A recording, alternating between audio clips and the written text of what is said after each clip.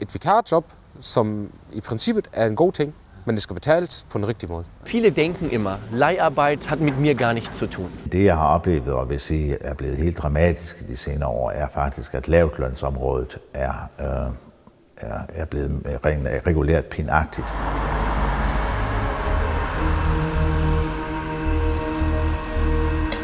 Vi er i Flensborg, den gamle handels-, søfarts- og industriby, som omfavner den idylliske fjord. Og selvom vejen ind til centrum bringer os forbi flere lukkede fabrikker, afslører lydene fra byens skibsværft, at der stadig bliver holdt liv i nogle af arbejdspladserne. Men lyden er blevet noget rusten. Som på resten af det tyske arbejdsmarked, har vokser virksomhedernes brug af vikararbejdere. Vikarer, der både er underbetalte og uden rettigheder, når vikarbyråerne leger dem ud til virksomhederne. Og det er, mener både den arbejdsløse, fagforeningsformanden og præsten, med til at trække Tyskland i en forkert retning.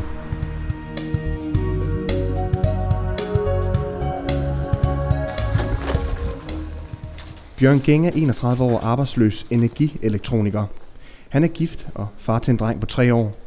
Det er fem år siden, han fik sit svendebrev, men han har stort set aldrig arbejdet inden for sit fag. Og siden han i foråret blev fyret fra sit natarbejde på lader hos en dansk speditør i Padborg, har han søgt adskillige job som fastansat, men forgæves. Min situation, det er, at jeg bliver presset ind i vikarkontor, øh, vikararbejde. Og det er noget, øh, hvor jeg ikke er heldig med. Jeg har det skidt med at arbejde for et vikarkontor. Hvorfor har du det det? Fordi lønnen den er mm, omkring 50 procent mindre end en fastansat på det samme firma. Ja. Og det er virkelig svært at uh, integrere sig i, i området og i samfundet, uh, når man ikke tjener så meget. Jeg synes, det er slave vilkår at uh, låne folk væk til mindre penge, end de burde have der. Forløbig er Bjørn Geng blevet tilbudt til 12 vikarjob. Hver gang har han bedt om at få en kontrakt, som han kan vise til sin fagforening IG Metal. Det har hver gang fået vikarbyråerne til at sige, at så har det ingen interesse. Han er spændt på, hvad der sker, når han næste forår har været arbejdsløs i et år, og dagpengene stopper. Til marts næste år, øh, hvis jeg ikke finder arbejde indtil der, så går jeg ned på kontanthjælp. Så har jeg været arbejdsløs i et år. Og kontanthjælpen, det er det, hvad det svarer cirka til 3.000 kroner. Og det skal modregnes med min kones løn. Og Bjørn har oplevet systemet fra den mest groteske side. Jeg blev tilbudt vikararbejde i et firma, hvor jeg selv har søgt til, hvor jeg blev, øhm, hvor jeg ikke fik ansættelse, men som vikar kunne jeg godt arbejde der.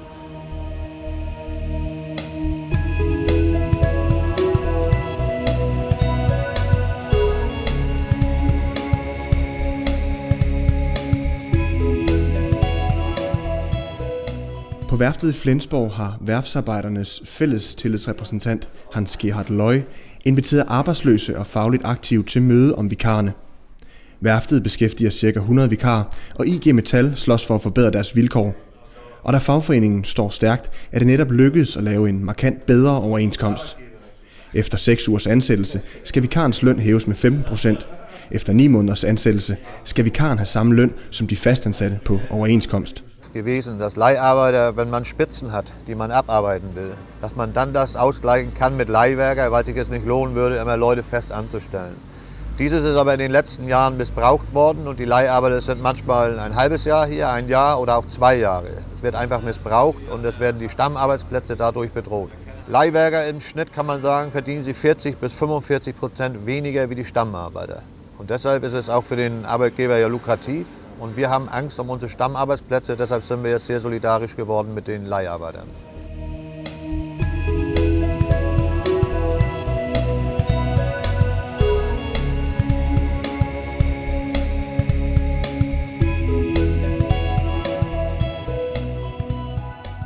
I Tyskland har vikararbejde især været udbredt i industrien, men tendensen har bredt sig i takt med, at politikerne har ændret lovgivningen og dermed gjort det mere attraktivt for arbejdsgiverne at ansætte vikarer som det eksempelvis skete i 2003, dengang Forbundsdagen vedtog, at vikarer blandt andet kunne ansættes i Deltidsstillinger. Leiharbeit äh, wird überall eingesetzt und das wird in Zukunft noch mehr werden. Man hat früher immer gedacht, das ist nur der gewerbliche Bereich oder nur der Produktionsbereich in der Industrie. Nein, Leiharbeit wird, wenn wir es nicht richtig in den Griff kriegen, flächendeckend eingesetzt. Die Tendenzen sehen wir jetzt schon und es wird noch extrem zunehmen. Es gibt jetzt schon Betriebe, die haben die Lohnbuchhaltung komplett in der Leiharbeit. Die haben das Personalwesen, sind Leiharbeiter. Wer hätte denn vor Jahren gedacht, äh, dass äh, Konstrukteure, Ingenieure Leiharbeiter sind? Äh, wir haben das, das, das Beispiel Airbus. Mehrere tausend Ingenieure sind Leiharbeiter. Das wäre vor Jahren undenkbar gewesen. Und deswegen glaube ich, es gibt Bereiche, die wir noch gar nicht im Kopf haben. Es kann überall Leiharbeit stattfinden.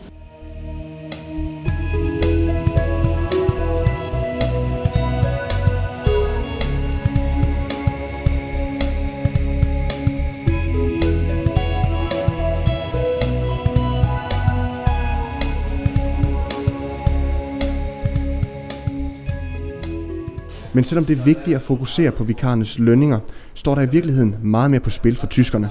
Bei Motorola sind 700 Leute beschäftigt gewesen bei Motorola, sind entlassen worden und haben sich dann, nicht alle, aber 600 Leute am selben Arbeitsplatz wiedergefunden. Der Unterschied war 10 D-Mark die Stunde weniger. Nehmen wir Werften, HDW.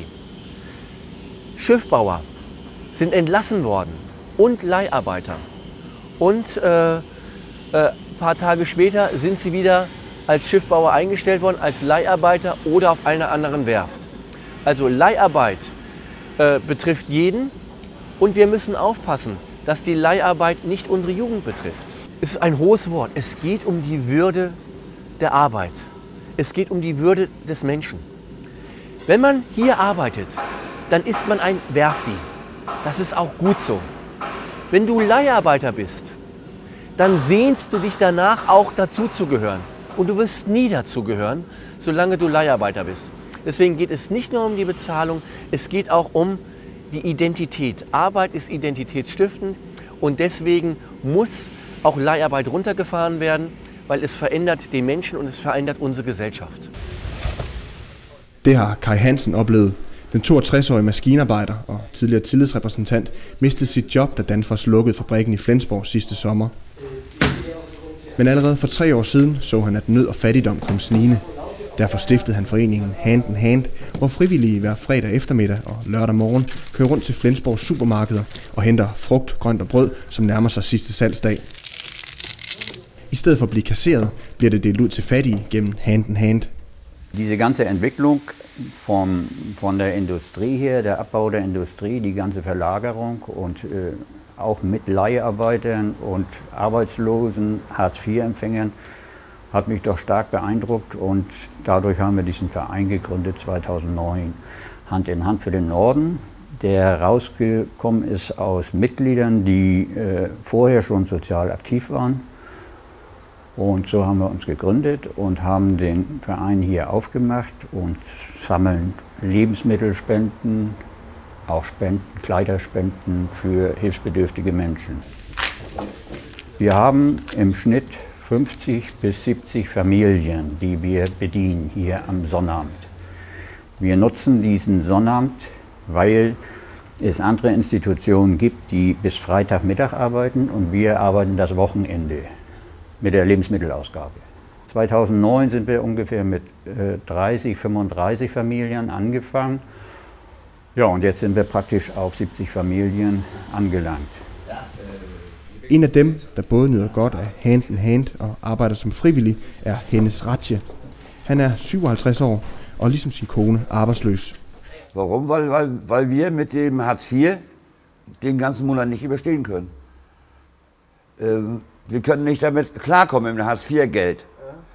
Also äh, hole ich hier was. Das äh, hilft mir über den Monat rüber wieder. Das ist, hier ist eine wunderbare Sache, weil das alles frisch ist und ist günstiger und ich kann, kann damit, kommen, kommen wir gut weiter, meine Frau und ich. Was wir sonst nicht hätten.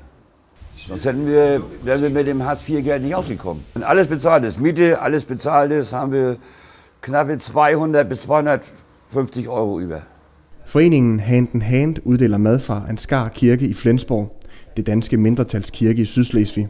Udover kirker i Tyskland traditionelt deltager i socialt arbejde, støtter sovnepræst Preben K. Mogensen også foreningen, fordi han nærmest dagligt oplever mennesker, der er i vanskeligheder. Det jeg oplever, det er, at øh, den sociale nød øh, her i Flensborg Nord, som er det gamle industrikvarter, faktisk ikke er blevet mindre, men er blevet meget større. Det gør sådan en indsats som den, som Hand in Hand gør, øh, desto mere uvurderlig at den er altså blevet mere og mere påkrævet, som tiden er gået. Det, jeg har oplevet, og vil sige er blevet helt dramatisk de senere år, er faktisk, at lavtlønsområdet er, øh, er, er blevet regulært pinagtigt.